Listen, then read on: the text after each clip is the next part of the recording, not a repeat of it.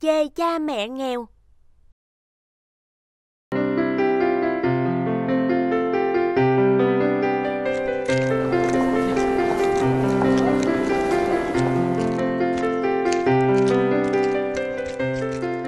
Sáng nào cũng 6 tiết, sợ quá. Học xong chẳng còn tí sức nào. Thương nhất là cái thằng em dạ dày, cứ kêu đói nheo nhéo. Còn học hành làm sao được. Giờ này mà có suất cơm với rà gán ở quán bà Năm thì thật tuyệt. Thế thì còn gì bằng, nhưng quán bãi bán đắt lắm. Cơm gà quán bãi ít nhất cả 50 ngàn một suất. Thì quán bãi toàn thịt gà ngon, đắt thì sắc ra biến bà lại. Nhắc tới là bọn này nuốt nước miếng ẩn ực rồi đây nè. Tại nó cứ hiện lên trong đầu của tôi từ lúc tiết năm đến giờ. Hay là chẳng mấy khi được nghỉ học chiều. Hôm nay chúng mình đi nhà hàng một bữa cho bỏ.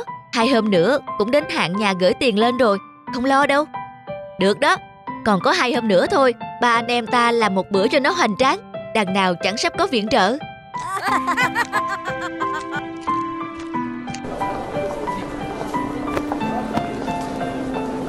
Bác ơi, cho chúng cháu ba suất cơm gà nhé. Có ngay.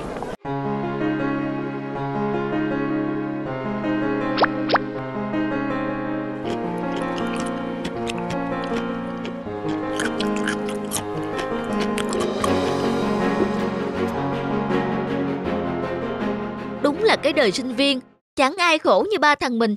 Chúng nó thì có xe máy đi học, nhà cửa, ăn uống thì bố mẹ lo cả, sướng như vua. Giá bố mẹ chúng mình giàu có thì tốt biết mấy. Mà nói làm gì, người ta bảo mỗi cây mỗi hoa, mỗi nhà mỗi cảnh. Đã quá. Mà này, hôm nay trời nóng gắt, ăn no mà lại được lon bia lạnh á thì tuyệt.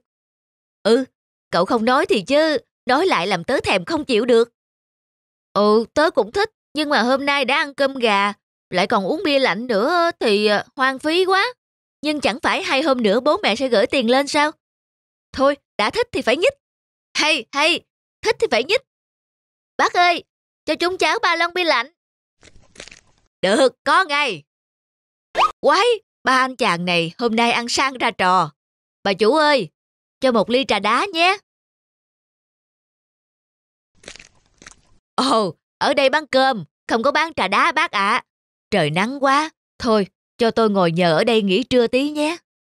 Vậy bác ngồi tạm ở kia nhé. Mấy chỗ này tí khách vào đông lắm. Ồ, có chỗ ngồi là tốt lắm rồi. Cảm ơn bà chủ nhé. Alo, em à, hôm nay tiện chở xe hàng, anh vào đưa tiền chi tiêu cho thằng Huy. Anh ăn trưa chưa? À, còn túi sáng luộc từ sáng, anh ăn luôn là no rồi. Ở thành phố ăn uống cái gì chả đắt đỏ, cũng phải biết liệu để lo tiền ăn học cho bọn trẻ chứ. Ơ kìa, sao không uống bia đi, mặt đần ra thế. Đó, đó, chính là ba tớ. Bác ơi, mấy lon bia này chúng cháu chưa mở nắp, trả lại được chứ ạ? À? Được, không sao. Kìa, cậu nghịch mặt ra làm gì? Chạy ra chỗ ba cậu đi, gặp cậu ở đây chắc ông ấy mừng lắm.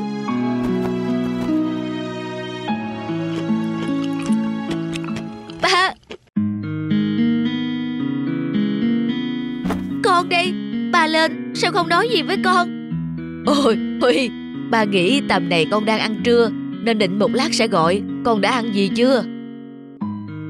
Dạ, con, con thương ba mẹ lắm. Ừ kìa, con trai mà sao khóc lóc thế này, ba có làm sao đâu mà khóc.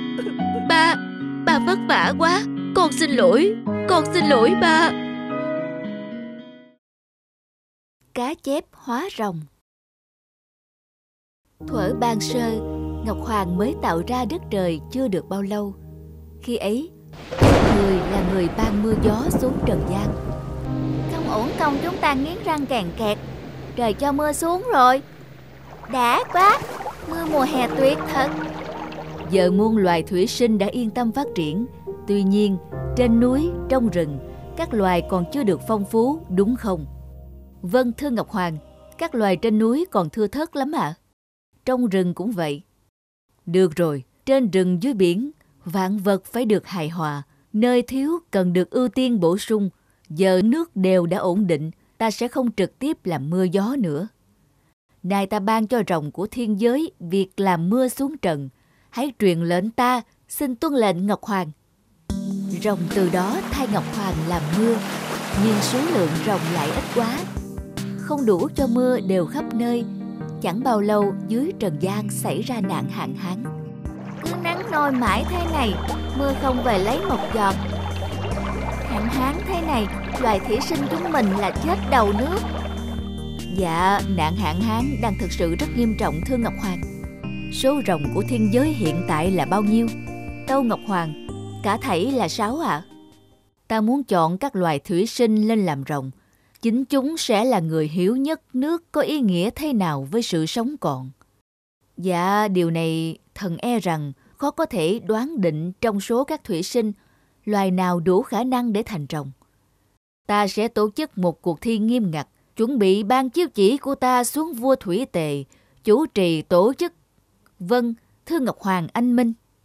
Chiếu chỉ của Ngọc Hoàng đã rõ, ta chính thức phát động cuộc thi rồng, kén chọn loài nào đủ sức đủ tài xứng làm rồng thiên giới. Thưa vua Thủy Tề, chúng tôi nhất định sẽ dự thi, khó mấy cũng phải ghi danh tham dự. Ta hoan nghênh tinh thần của muôn loài.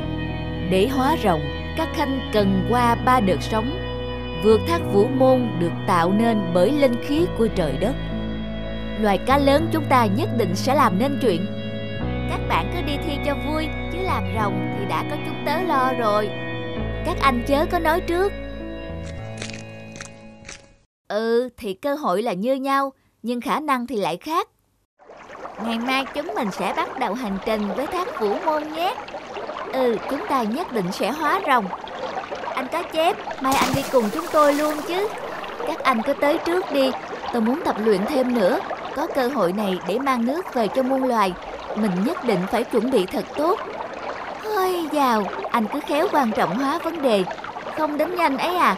Các bầy thủy sinh khác họ hóa rồng hết. Thôi kệ anh ấy, chúng mình cứ đi trước. Một tháng sau. Thác vũ môn quả thực không dễ chinh phục. Đã hơn một tháng trời Nhưng chưa loài thủy sinh nào vượt qua được đỉnh cao nhất. Sức vóc như các cậu Tốt nhất nên về đi. Khó đến thế kia à.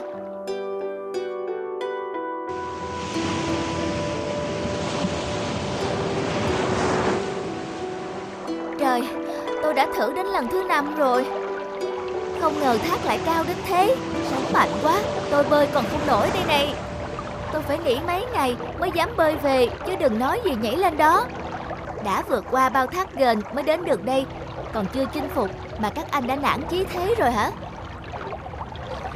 Mấy anh cá lớn thế còn phải bỏ về mà cứ cứng đầu phi lên. Kìa, anh ấy suýt thì hóa rồng rồi này. Vây vẫy râu, anh ấy chả phải râu rồng là gì? Tiếc là không qua được ngọn thác thứ ba, lưng cong cụm lại rồi. Biết thế này tôi đã luyện tập kỹ càng. Là anh cá chép ở sông nhà mình đây mà. Trời ạ, à, anh ấy đang phi như bay lên thẳng ngọn thác.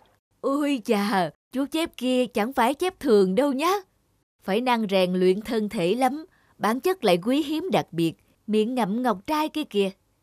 Cá chép nhờ đợt sóng cao đưa lên, qua luôn một lần ba đợt sóng. Vượt vũ long môn, nhã ngọc hóa rồng. Anh cá chép hóa rồng rồi. Chúng ta chỉ biết xôn xao, ùng đi thi thố, mà không ai chuẩn bị chu đáo cơ hội lần này coi như bỏ lỡ rồi. Từ đó, hình ảnh cá chép hóa rồng được lưu truyền dân gian trở thành biểu trưng cho sự nỗ lực, may mắn, trót lọt, thành công trong học hành, thi cử cũng như công danh sự nghiệp. Hãy like, comment, subscribe kênh để xem thêm những video mới nhất nhé!